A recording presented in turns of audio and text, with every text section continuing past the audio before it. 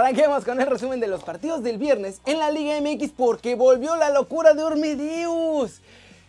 Y Tigres se sigue desinflando.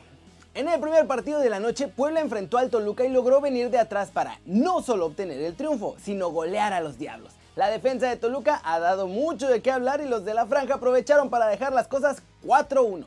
Los goles del triunfo fueron de Ormedeus que vuelve a romper las redes, Álvarez, González y a Mauri Escoto. Por Toluca anotó William da Silva. Con este resultado, Puebla está en el lugar número 4, mientras que Toluca sigue en segundo lugar, pero a la espera de lo que pase en los otros partidos del sábado. Ya en el segundo de la noche, los Tigres de André Pierre Guignac tuvieron el triunfo en sus manos, lo acariciaron muchachos, era suyo. Y lo dejaron ir. Al 77 el francés puso al frente a los felinos, pero Tuca aplicó la clásica Tuca de buscar matar el partido y lo que hizo fue tirar el camión atrás.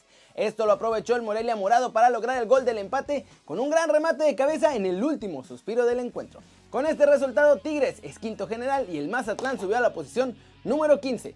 ¿Cómo la ven? Puebla sorprendiendo a todos en este torneo. Ormedeus también ya se lo están peleando entre Perú y México. Y bueno, si hay algo que no cambia, es la forma de los partidos que hace el Tuca con su amado camión.